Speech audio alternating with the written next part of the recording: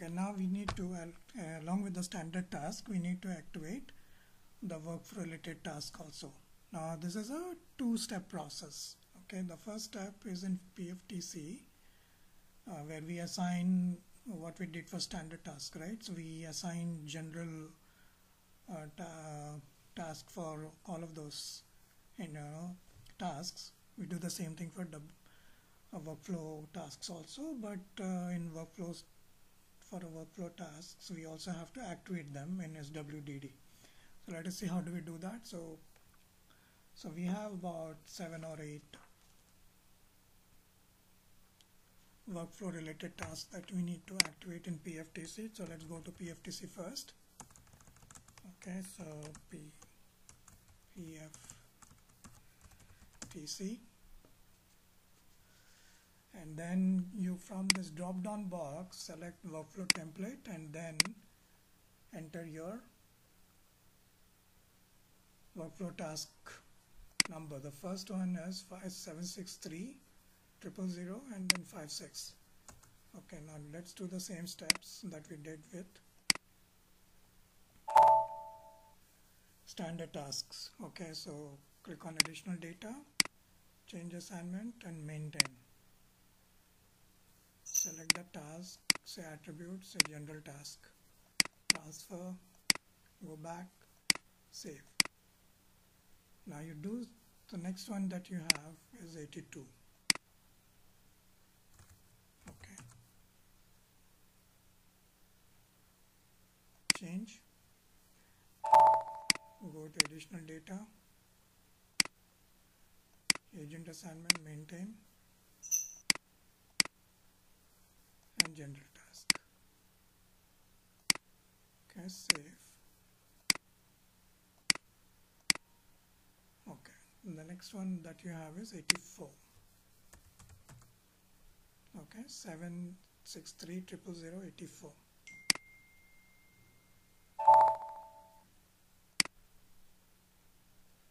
additional data change assignment maintain.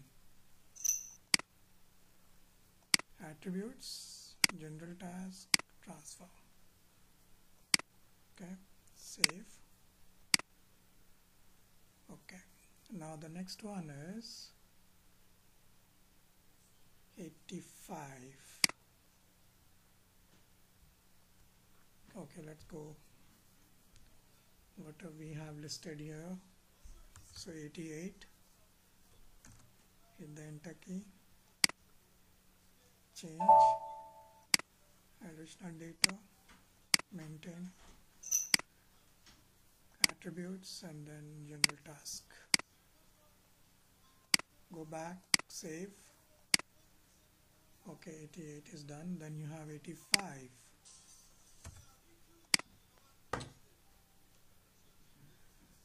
click on change. Agent assignment maintain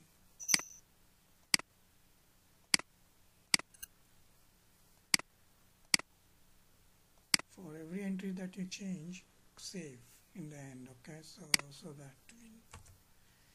the entry changes are recorded.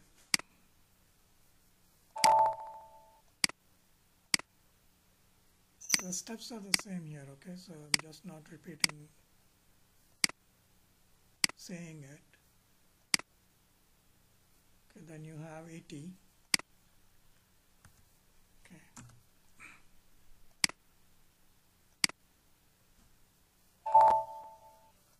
you also read the description of each of these tasks then you'll understand why what we are doing this for okay?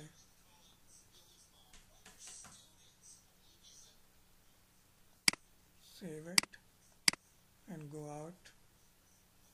The next one is 89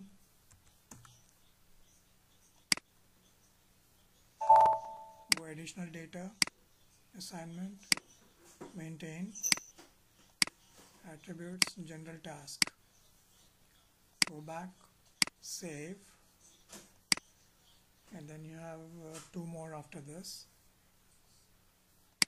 So next one we have is 87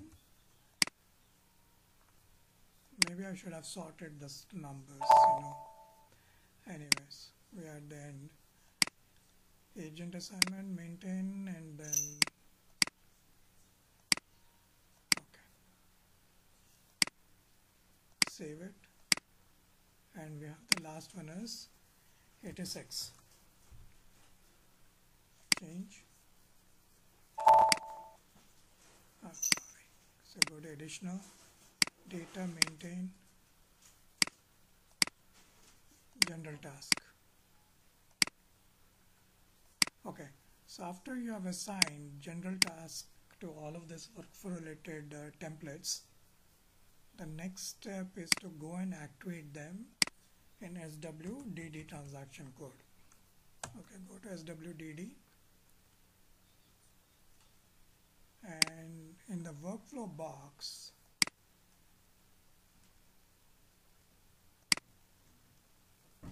okay let's go and enter seven six triple zero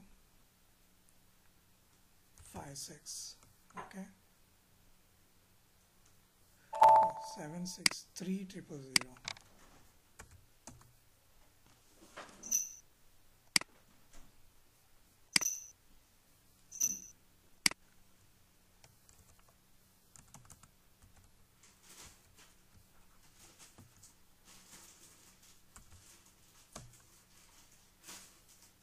Okay.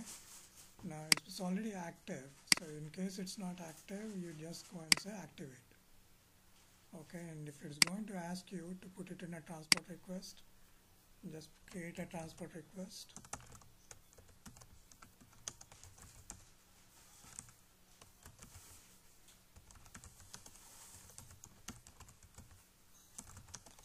Activation.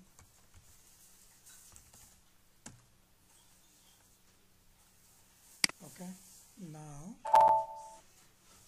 you do this the same thing of this activation for all the tasks that we activated right? Let's go in the same sequence that we activated 82 everything is active so just anyway activate it? Okay. Just enter the workflow template number workflow template task number and then click on activate and put it in a transport request okay now we have 88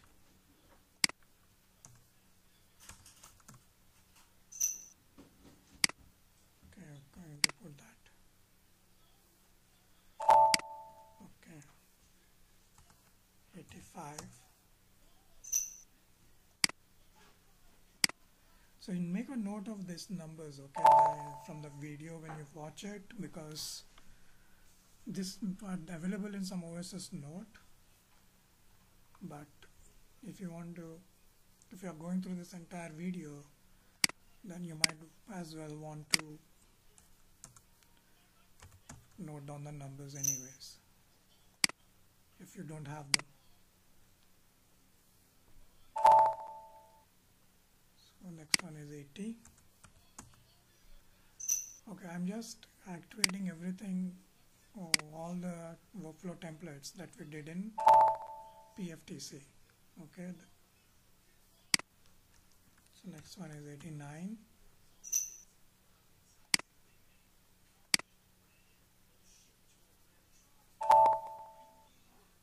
it is next one is 87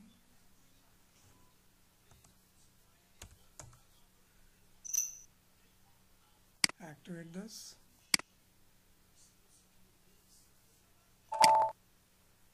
oh I should not have gone out as WDD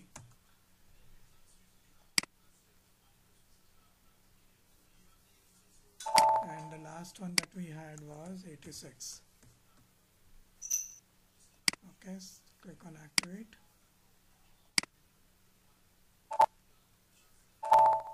All right so once we have now we have activated the workflow templates okay? Now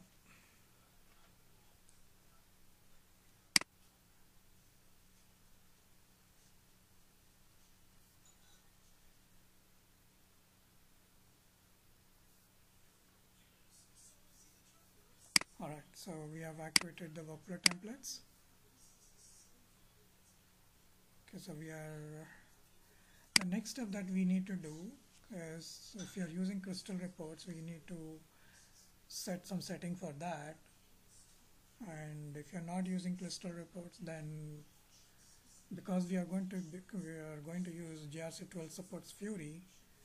uh, GRC has introduced a new view uh, access report view type in access and risk analysis uh, which is remediation view. And remediation view needs uh, OData service that needs to be activated. Okay so we are not going to work with crystal report so I'm not going to I'll just show you in the next video where that step is and then we'll go and activate the OData service for remediation view. Okay